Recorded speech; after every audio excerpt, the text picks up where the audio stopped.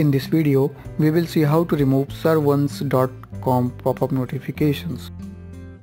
But before we start, let me remind you to subscribe to our channel and press the bell button to get notified about our next video on computer security. Ser1es.com tricks you to click on the allow button so that it can send push notifications on your computer. To remove notifications from Chrome, open Chrome browser and click on menu button and choose settings. Scroll down and click on advanced. Scroll down and click on content settings.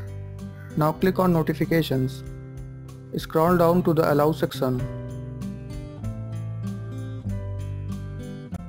Now remove all the websites you don't want to receive notifications.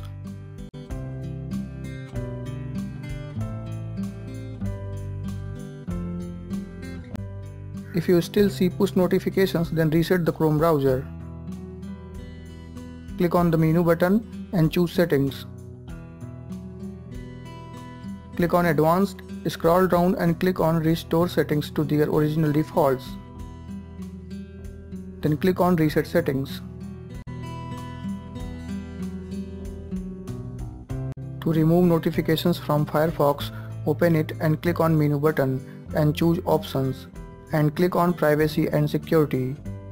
Scroll down to find notifications and click on settings. You can manually block websites you don't want to receive notifications or you can remove all the websites by clicking on remove all website button. If you still see push notifications then reset the Mozilla Firefox.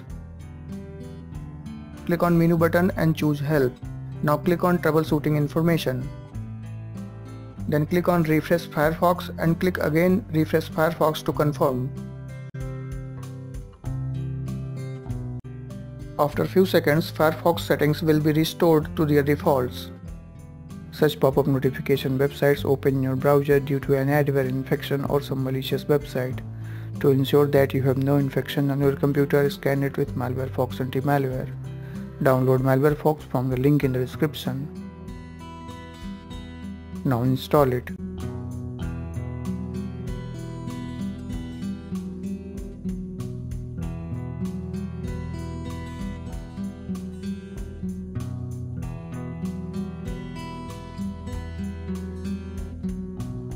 After the installation, let update and load recent signatures. Now press the scan button. It will scan your PC for potential threats. Once the scan is completed, click on next to clean your PC. Thanks for watching, like the video and subscribe to our channel. Keep your PC safe.